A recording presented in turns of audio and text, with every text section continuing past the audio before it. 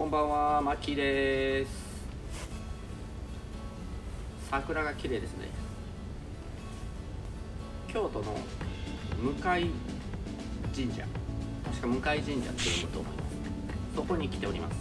結構有名なスポットで、大阪のカメラ仲間、ボクシーの圭介さんに今日は一緒に撮影しようっていうことで、こちらに集合する予定なんですけど、まだ来てません。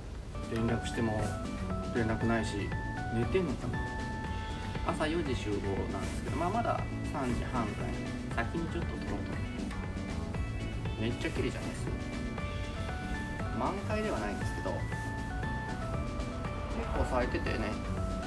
向こうから望遠で撮るといい感じのこの風流な感じが。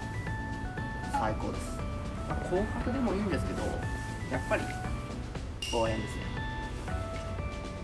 はタムロンの70200のレンズを使用いたしますちなみに3連休いただいた木金土なんです木金ってコスト高いじゃないですか？まあ基本的に下道派なんですけど前も伝えてたと思うんです。けど今ね450キロ走りましたまあ帰りも300キロぐらいあるんですけど頑張ります。それでは撮りたいと思います。でここの右側のフレアがあるんですよ。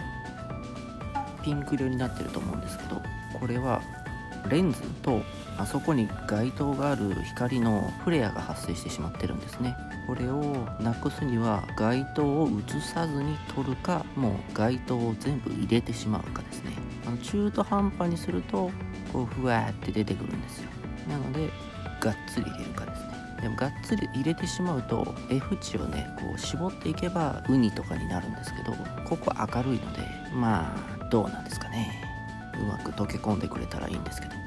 またですねこのフレアを入れたくないといいますか街灯を人で隠したり電柱で隠したり生えてる木で隠したりする方法もあるんで、まあ、撮影しながら考えてみていただければ面白くなっていくと思います。それではちょっと人が来てもいけないのでサクサク撮っていきたいと思います。やっぱりまだ暗いんで桜が上の方が暗いですね。なのでライティングダッシュをちょっとしてみたいと思います。シャッター速度10で F14 なんでセルフタイマーですね。これを使って20秒。ちょっと多いかもしれないですけどそれでちょっとやってみたいと思います。それでは GO!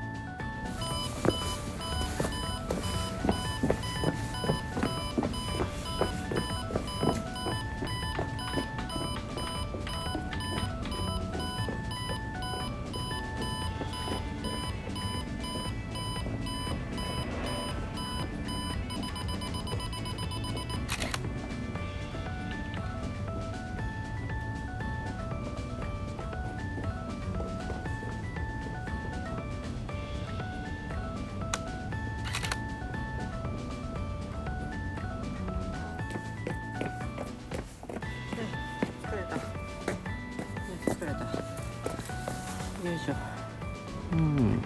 そうね。